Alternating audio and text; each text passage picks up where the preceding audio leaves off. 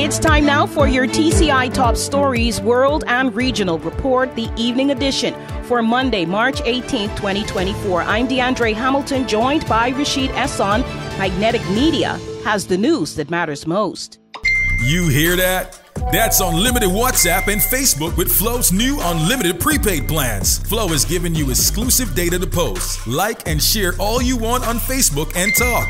Message or video call all your faves on WhatsApp. Have endless fun when you activate Flow's hot new 30 day plan for just $40 a month and unlock unlimited social media messaging, unlimited Facebook, unlimited WhatsApp, unlimited possibilities. Dial star 129 pound to activate today.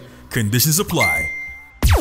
Facing anger, consternation, and concern from residents over the amount of robberies committed in the past week and a half, the Royal Turks and Caicos Islands Police Force is instituting a new unit. The acting commissioner confirmed a dedicated robbery policing team is being set up to provide focused investigative and policing capability on this front. Words from Dileeni Daniels Selvaratnam, the TCI's governor, in a March 14th post. It came just hours before a business place was hit by criminals and a tourist robbed. The governor did not provide a timeline for implementation. Since the start of February, there have been several high profile robberies, including a planned attack on a businessman doing payroll, a daylight robbery of a female casino worker by three armed men, and reported attacks on college professors where one was beat up and his car taken.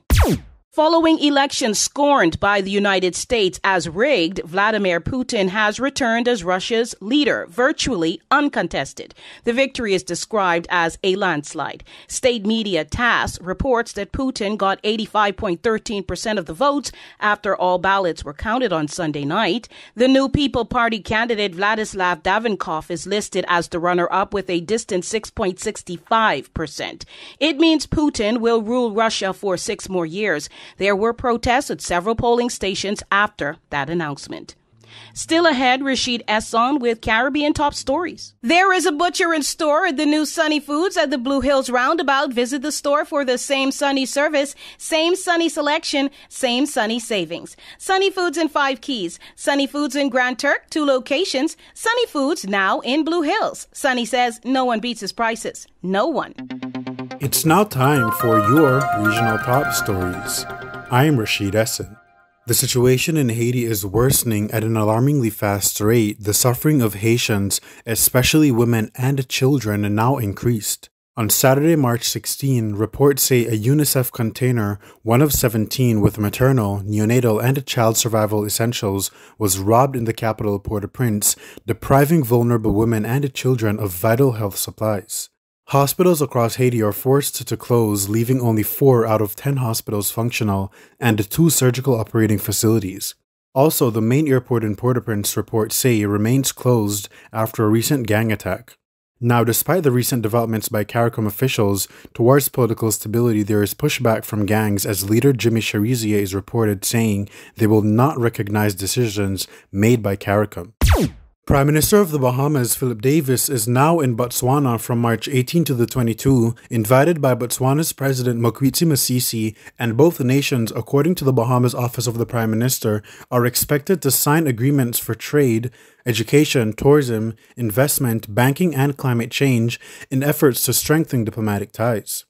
The Bahamian officials accompanying Davis are the Minister of Foreign Affairs, Minister of Education and Technical and Vocational Training, Minister of Economic Affairs, Minister of Youth, Sports and Culture, and Parliamentary Secretary of Tourism, Investment and Aviation. Magnetic Media is your news leader. At Fortis TCI, we have the tools to help you track your energy usage because we know it's easier to manage what you can monitor our free customer portal at www.myftcionline.com is packed with features, and signing up is quick and easy through the website. You can view weather temperature trends alongside your daily consumption, receive email alerts when your energy usage reaches a set level, and note important events and activities that impact your energy usage online. You can also compare your energy usage to a previous year or month and download your usage data for further analysis. Remember, your energy usage data is ready when you are. 18 year old Grand Turk native Caden Lightburn will go to trial despite efforts by his attorney Willen Belliard to have his case dropped. Lightburn was committed to stand trial on a firearms offense and during sufficiency hearings before Chief Justice Mabel Agyemang on Friday, March 15th, it was determined that the young man will have to stand trial for a shooting incident in Grand Turk from January 15th. It's on to trial also for alleged Bible Street robber Josiah Parfait. The 21 year old is facing serious charges attempted robbery, firearm, and ammunition possession from a November 2023 incident. His trial was not challenged by his attorney, Sheena Mayer. Congratulations are in order for a number of schools which showed their scientific prowess in the recent Fortis TCI suite of science events in celebration of Education Week in the Turks and Caicos. H.J. Robinson was the high school winner and International School of the TCI won in the primary category for the science project competitions. The International School of the TCI also triumphed in the National Primary School Science Quiz. Finally, Clement Howell High School and Maranatha Academy won the Fortis TCI National Science Poster Competition, Creative Art, and Graphic Art category, respectively. Congratulations to all of the winners. That does it for the evening edition. Thank you so much for joining us. Make it a great night.